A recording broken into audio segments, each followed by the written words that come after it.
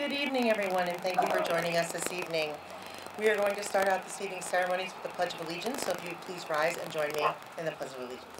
Detail. Stand put. Pretend. Talk.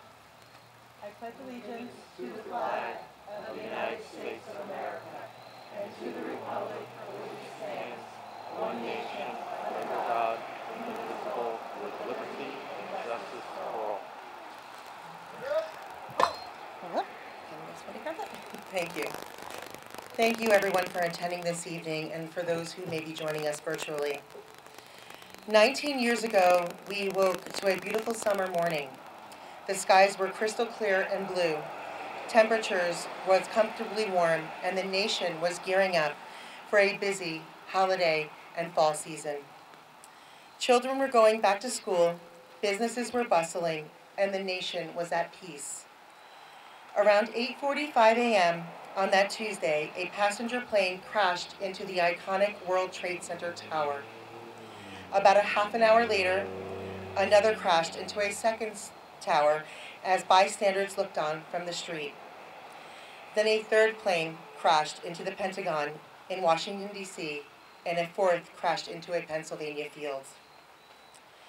We as a nation buckled and stumbled back as two towers crumbled to the ground before our unbelieving eyes. In those terrifying, mo- terrifying moments, we all wept for the massive loss of life we had just witnessed while helplessly glued to our television sets in each of our homes. Many towns in New Jersey, including West Milford, saw our own husbands, wives, brothers, sisters, cousins, sons, daughters, family, and friends perish that day. Like other towns, we gather each year on this fateful anniversary to remember the homegrown souls taken from us too needlessly and too soon. We honor the memories today and the legacies that they left behind. Some were victims of the attacks themselves, while others were a part of the more than 300 police, fire, and EMS lost at the scene in New York. As Americans, we came together that day in a unique and very special way. It was as, each, as, this, as if each of us and the more than 2,500 people killed were members of our own individual families. The grief of a nation filled the air. At that moment, and for days after, we united in the common cause, standing shoulder to shoulder, digging through the rubble and looking for survivors. No one sifting through the debris at ground zero cared what race, religion, ethnicity, or lifestyle those working next to them were a part of. There was no division, no hatred, no left, no right, no conservative, liberal, or independent. As we look around us 19 years later, one can wonder how we have deteriorated so far and remain so divided on this sacred on this sacred day. Can you imagine how today's calls to defund the police and other first responders would have played out on that day? What would have happened if the hundreds of emergency workers that voluntarily ran into the danger to save the lives and ultimately gave their own lives for strangers, had they never met, were not uh, there to provide that aid? What do you think the heroic passengers of Flight 93 who gave their lives to prevent another attack on American soil by crashing their own planes would think of us now as we march and battle against ourselves in the streets. That day, almost two decades ago, we showed the world the best of who we were. What promise and strength of our nation truly was and should continue to be. We face our current challenges as a country and I think we should take a few moments today to honestly reflect on the events of that day and how it made all of us who remember feel at that time. We should also take time today to tell our younger members of society that had uh, the not yet born what today means to us, what living through that day was really like, and perhaps more importantly, how we in the aftermath um, resolved in strength, united in strength and resolve. The lessons of September 11th, 2001 can still serve us today and may hopefully aid in our fractured society. So today, we honor the fallen and we rec- recommit ourselves to the better citizens of the country they died for. This is the best way for us to all pay homage to them. Thank you. Thank you, everyone. Reverend Janet Lavola is going to do our opening prayer. Reverend, if you would come up, please. Thank you.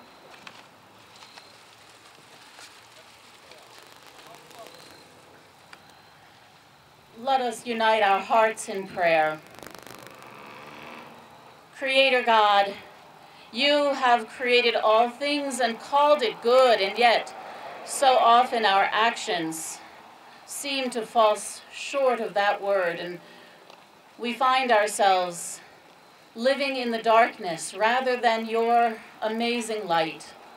And so, on this day when we might be so tempted to turn our hearts toward anger and sorrow and grief, let us hold fast to the hope of your light. Let us remember, never forget, the heroism of that day. The firefighters who walked into a fire when others were running away. The first responders who gave themselves so selflessly that others might live. Lord, may we look at their example and model our lives upon their selflessness. Help us to find the hope amidst the wounds that nearly two decades later still mark our hearts. Help us to find the light of hope. Help us to find how we can unite again as one people for we are all your children.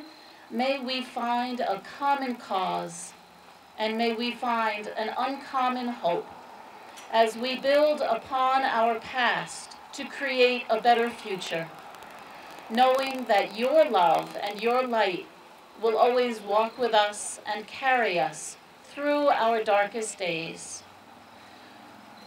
Bless each and every one of us and hold fast the memories and the love with which we hold one another. And may it carry us to a day of forgiveness and love. But may we never forget. In your name we pray. Amen. Amen.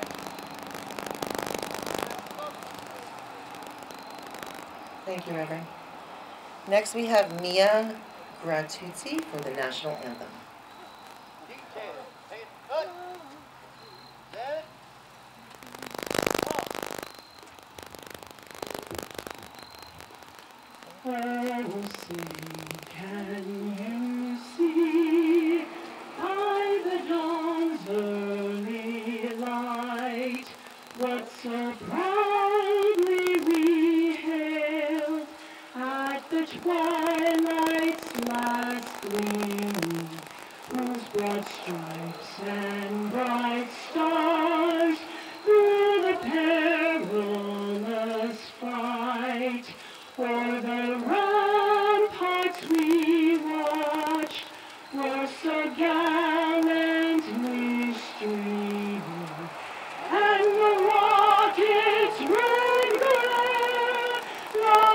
Bombs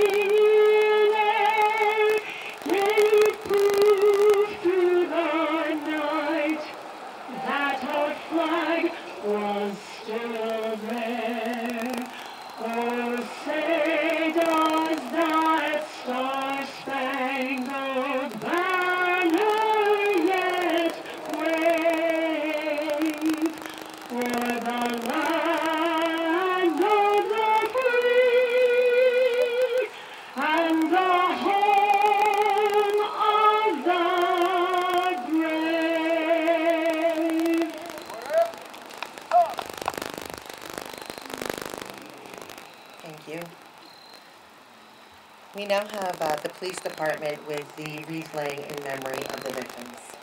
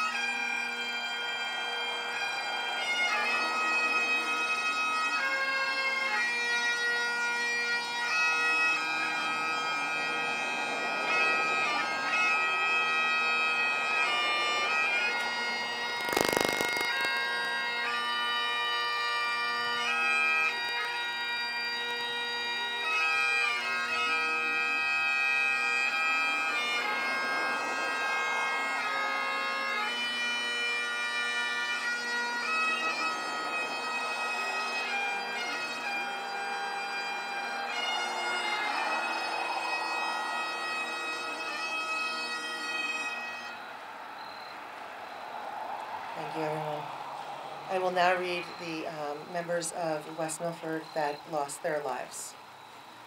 Jeremy Glick, the her- heroic young man who helped prevent Flight 93 from crashing into the White House. Father Mychal Judge, who died while giving last rites to victims of the World Trade Center. TJ Hargrave, Jean De Palma, and Michael Zinzi. And then now next will be the West Milford soldiers that lost their lives.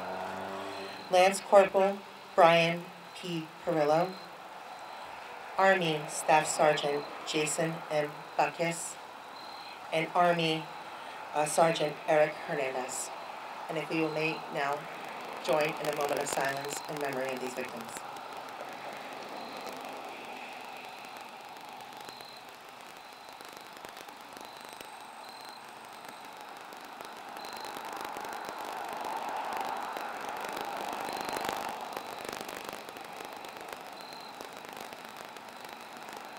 Thank you.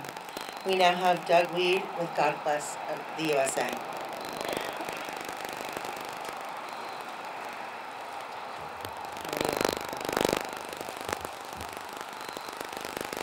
follow that one us.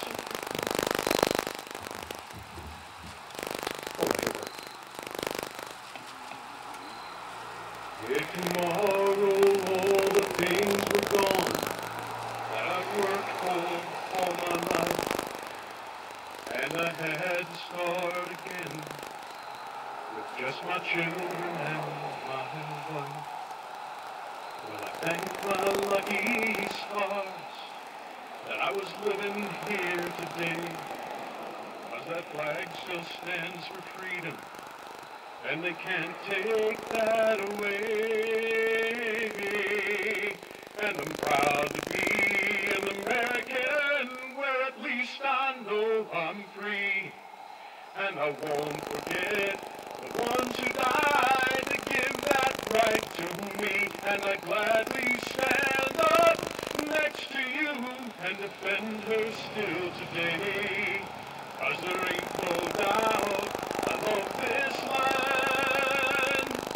God bless the USA.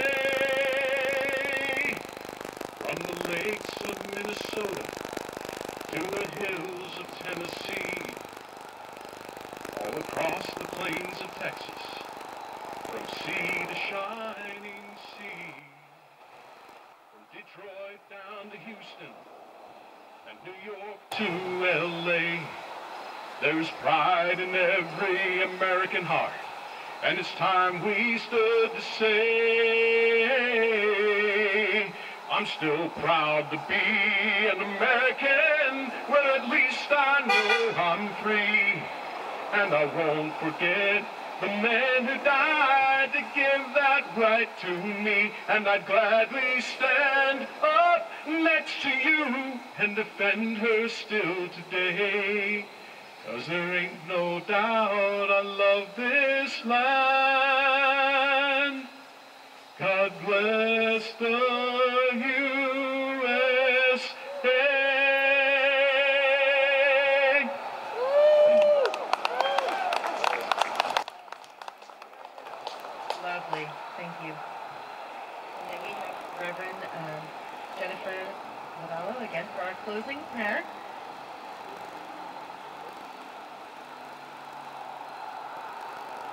Once more, I invite you to unite your hearts in prayer. Gracious God, we thank you for the gift of this day, even this day, because we know that all things can work toward good for those who serve you. And so, as we go from this time together, may we go in a spirit of service, a spirit of gratitude, May we never take for granted the freedom which is ours, the life which you have given us, and the love with which we hold one another. May we go as witnesses to your light, and may we keep in our hearts all of those who have gone before us. May we stand with them, a community of saints, and may their light lead us. All these things we pray as your precious children. In your name, amen. Thank you, Reverend. And now we have Tammy McLaughlin with Pass.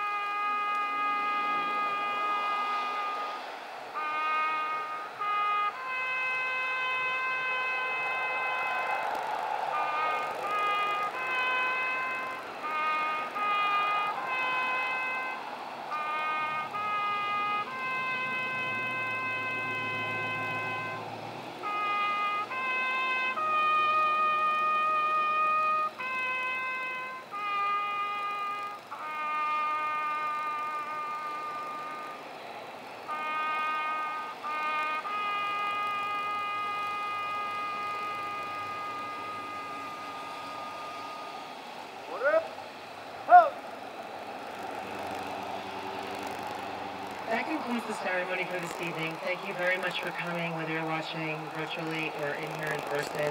Um, God bless America. God bless you. And uh, may we always remember, God bless the USA. Always be united as a community and as a country. And I wish you all the best. Good evening.